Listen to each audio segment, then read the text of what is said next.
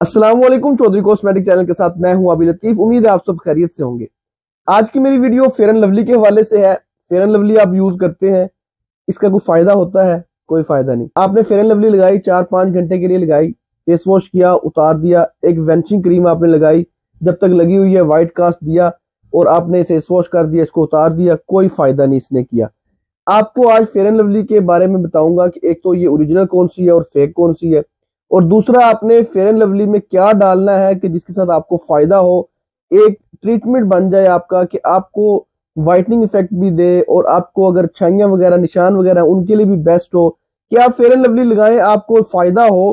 Fair and lovely से भी आप ऐसा काम ले लें कि जो किसी को पता ही ना हो आज तक। ये फेयर एंड लवली भी मैंने इसलिए पकड़ी है कि पाकिस्तान में सबसे ज़्यादा यूज़ होने वाली क्रीम फेयर एंड लवली ही है। तो फेयर एंड लवली को आप लगाओ एज अ ट्रीटमेंट लगाओ कि आप लगाओ उसका फ़ायदा हो आपको आपकी स्किन में जो प्रॉब्लम है वो ठीक हो।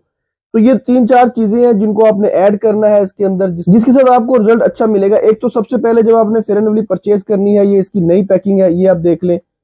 इस पे मेंशन भी है Fair and Lovely Glow and Lovely के नाम से है advance multivitamin serum in cream ये सीरम भी ऐड है इसमें क्रीम में ये ओरिजिनल की पहचान है और सबसे बड़ी निशानी इसकी जब आपने इसको परचेज करना है इसके ऊपर कंपनी की रिटेल प्रिंट होती है। ये 400 की क्रीम है इसको आपने देखना है और इसकी पैकिंग आपने चेक करनी है, इसको खोलना है, खोल के जब आपने इसको अंदर से इसको ओपन करना है, ये सील्ड होती है।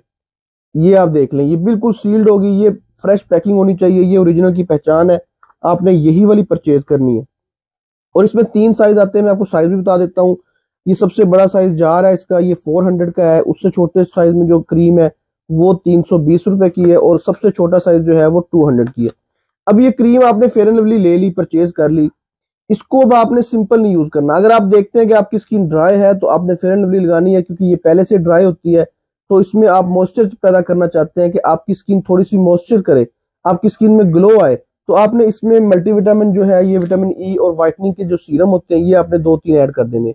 या आप एक काम करें, जब आपने इसको लगाना है, एक सीरम इसमें से निकालें, इसको मिक्स करें और इसको आप फेस पे लगा लें। इसके ये है कि आपके फेस में ग्लो आ जाएगी और दूसरा जो ड्राइनेस है, वो भी खत्म हो जाएगी, जो पैचेस वगैरह बने होते हैं, वो भी ठीक हो जाएँगे।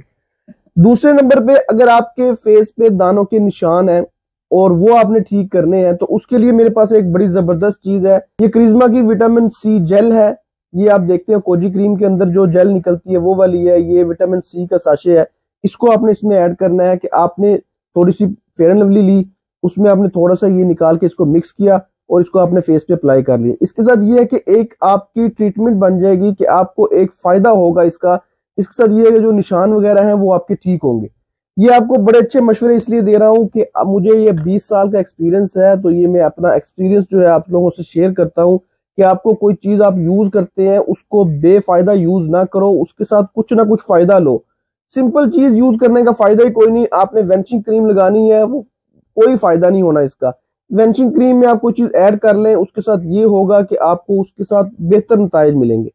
इसी तरह एक चीज़ और है कि आपके पास ये ग्लूपाटोन है, आपने अगर थोड़ा सा व्हाइटनिंग कार्स देनी है कि आपने कलर फेयर करना है। मैं आपको ये नहीं कहता कि आप सारी इसमें डाल दें, आप थोड़ी सी फेयर लवली लें थोड़ी सी इसमें से ग्लूपाटोन लें, इसको आप नाइट में यूज़ कर लें। ये इसलिए कह रहा हूँ कि ये स्टीराइड के बगैर होती है क्रीम इसमें अगर आप ग्लूपाटोन डालेंगे तो आपको नुकसान नहीं होगा। आप नाइट में इसको यूज़ कर सकते हैं कि आपने थोड़ी सी ग्लूपाटोन ली, थोड़ी सी आपने फेयर लवली ली, इसको मिक्स किया, इसको एज अ नाइट में भी यूज़ कर सकते हैं और डे में अगर लगानी है, उसके साथ ये होगा क्रीम भी थोड़ी सी जो है ऑयली हो जाएगी और ये मिक्स करके आप इसको यूज़ कर सकते हैं डे में भी व्हाइटनिंग कास्ट दे सकते हैं। लेकिन इसके साथ ये है कि आपने इसको लगा के किचन वगैरह में नहीं जाना, यानी कि गर्मी में बाहर धूप में नहीं जाना, क्योंकि ये थोड़ा सा इसमें स्टीराइड होता है, इसको आप नाइट में लगा लें। अगर आपने व्हाइटनिंग कास्ट देनी है तो आप इसको नाइट में लगाएँ बाकी आप इसको डे में भी लगा सकते हैं। अगर आप नाइट में इसको जेल के साथ लगाना चाहते हैं, तब भी लगा सकते हैं। मतलब कि फेयर लवली लगानी है तो कुछ साथ डाल लो तो फ़ायदा होगा। सिंपल कोई फ़ायदा नहीं है। सिंपल आप एज अशिंग क्रीम के तौर पे ही यूज़ कर सकते हैं। इसको फ़ायदा नहीं ले सकते इससे।